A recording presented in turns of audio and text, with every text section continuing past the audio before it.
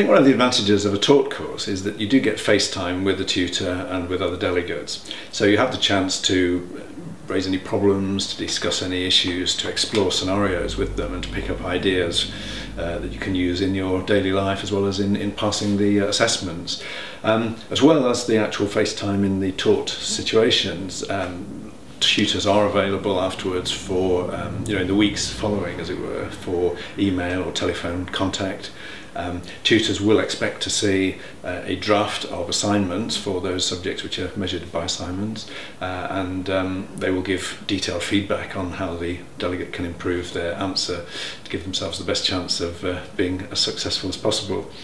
Some students even form spontaneous groups uh, and we do quite often get groups who continue to meet together after the end of the formal taught sessions uh, maybe at the same time of the day or the week to um, again sort of study buddies really exchange ideas uh, and to uh, perhaps build their confidence.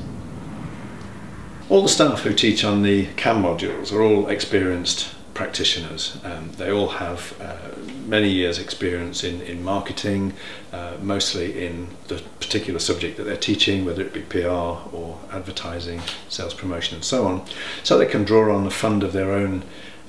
experiences, um, even anecdotes and, and jokes and things that make the course come alive and make it more memorable. Um, delegates love to hear about actual scenarios that either went well or went not so well. Uh, it, it does make the subject, I think, much more uh, realistic uh, to them and being able to apply it themselves, um, as well as then, you know, mixing that with the theoretical modules and um, academic work that underpins much of the modules. So they can, they can blend the two together. They can show that they understand the academic modules,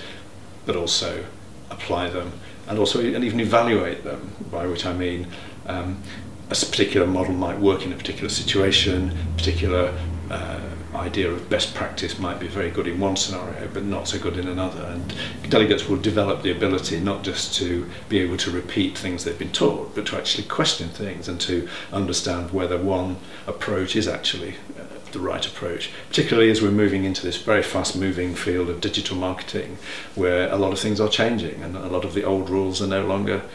uh, the correct way forward or the only way forward.